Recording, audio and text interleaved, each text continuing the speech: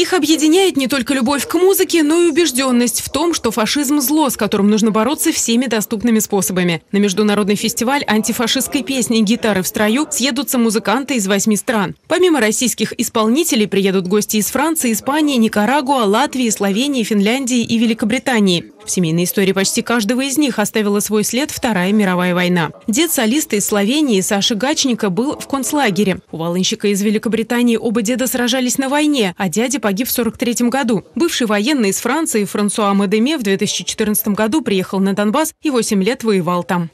Я искренне рад, что фестиваль э, международный, что все попытки э, в отношении нашей страны вести так называемые культуры отмены и запретов не работают. И э, абсолютное большинство жителей планеты, я уверен, понимает, что такое нацизм и какую угрозу фашизм представляет. Это не случайные люди приезжают сюда. Это не просто артисты. Это наши с вами друзья. Это те, кто поддерживает нас везде.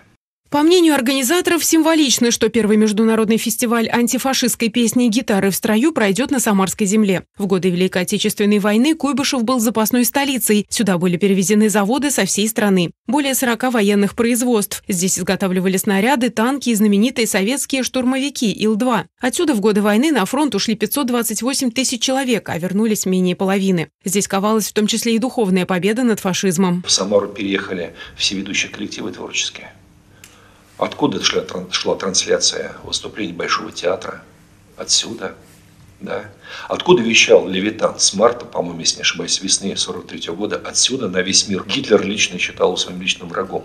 Международный фестиваль будет проходить при поддержке Президентского фонда культурных инициатив и правительства Самарской области. Начнется праздник 1 мая на площади Куйбышева. Там пройдет митинг-концерт «Мир, труд, май». Будут работать фестивальный городок, пройдет автомотопробег с возложением цветов на площади Славы. Фестиваль будет проходить не только в Самаре, но и в Новокуйбышевске, Сызрани, Тольятти, Чапаевске, Жигулевске. Гостям праздника покажут тематические фильмы, в том числе и Нюрнберг. Мы много слышим о том, что кто-то э, не до конца в культурной среде понимает происходящее. Вот абсолютное большинство деятелей культуры, искусства прекрасно понимает, что происходит сегодня и в стране, и в мире.